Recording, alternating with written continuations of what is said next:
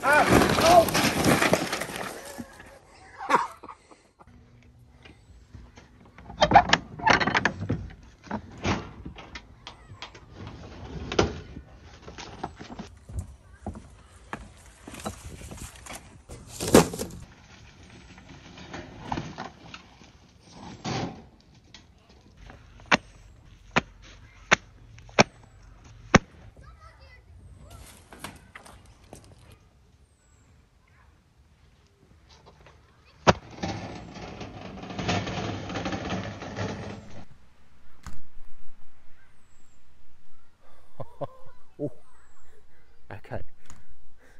Hi, I'm Nathan Zamprogno.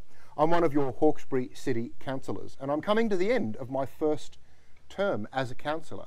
It's been four and a half, nearly five years now, and it's been a really interesting ride. It's been the most singular privilege of my life to be one of your elected representatives.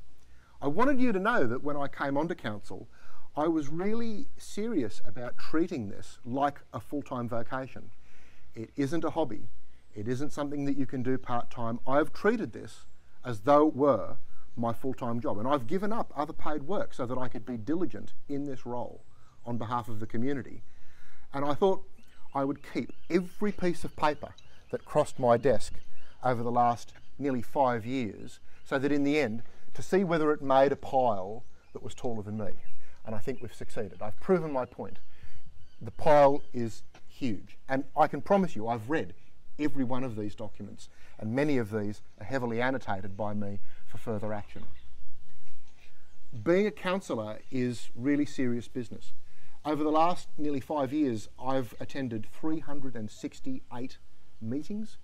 I've driven 10,510 kilometres on council business. I've been a member of 10 different committees or working groups uh, to look at different areas in, in more detail. I've been a member of the Hawkesbury River County Council and I've now served two terms as the chairman of that body, which looks after our waterways. I've been a member of the Western Sydney Regional Organisation of Councils, where I've been a director, and I've also been a member and defender of Council's Heritage Committee, and also our Civics Committee, and also our Infrastructure Committee, and many others. So I'm looking for your support to continue in this role as one of your elected representatives. And I wanted you to know just the kind of work that's involved in being a diligent representative. And my hope is that you will consider very carefully who has the diligence and the skill to do that kind of job on your behalf for the community. Thank you for your consideration.